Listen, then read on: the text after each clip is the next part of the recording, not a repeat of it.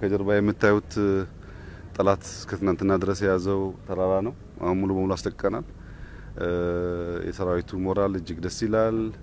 ጦርነቱ በከፍተኛ ድል ነው የተከናወነ ያለው። አሁን ካዛክስታን ይዘናል። ዛሬ ጭፍራንና ቡርቃን እንይዛለን። የኢትዮጵያ ነጻነት እስኪረጋገጥ ወደ ኋላ አንልም። ምንፈልገው እኛ ሞተን የምትቆም ኢትዮጵያን ማየት ነው። ምንፈልገው ወይም ኢትዮጵያዊ መሆን ነው ወይም ኢትዮጵያ መሆን ነው። ይሄን ደግሞ በድል እንደምናሳካ እርግጠኛ ነን። ህዝባችን ከጎናችን ነው። በውጭ ያሉ ወንድሞቻችን ባላቸው አቅም እየጮሁ ነው። ምሁራን እየጮሁ ነው። የኔ እናንተ ስራ ደግሞ በግንባር ሆኖ ጥሩን እየመሩ ድል ማምጣት ነው። ያው በአንድ ቀን ውጊያ ያገኘነውን ድል አይታችኋል።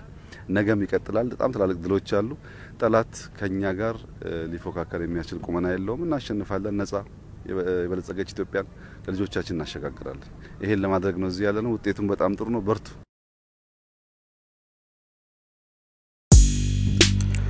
ጠቅላይ ሚኒስትሩ እንግዲህ በዚህ መልኩ ግንባር ላይ ይገኛሉ። እንዳያችኋቸው ካሳጊታን ይዘናል። በቅርቡ ደግሞ ቡርቃንና ጭፍራን እንይዛለን ብለዋል። ሁለቱም ሶስቱም ከተሞች የሚገኙት በአፋር ነው። በአፋር ግንባር ይገኛሉ ማለት ነው።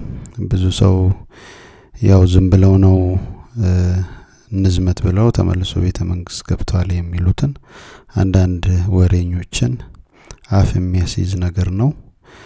ጠቅላይ ሚኒስትሩ እንግዲህ በግንባር እንደዚህ እየተፋለሙ ይገኛሉ። እናሸንፋለንም ብለዋል።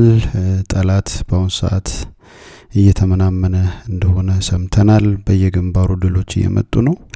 በባቲ በጋሸና በጣም ትልልቅ ድሎች ተገኝተዋል። ያው መንግስት ደግሞ ልክ እንደዚሁ በሰበር ዜና መልክ ያቀርብልናል። ለማንኛውም ቪዲዮ እንዴት አያችሁት? እስቲ እንወያይበት። አዲስ አውቶች ነን። share፣ subscribe፣ like በማድረግ የኛ ቤተሰብ የሆኑ ደግመን በሌላ መረጃ እስከምናገኛችሁ ድረስ ጤና ይስጥልን።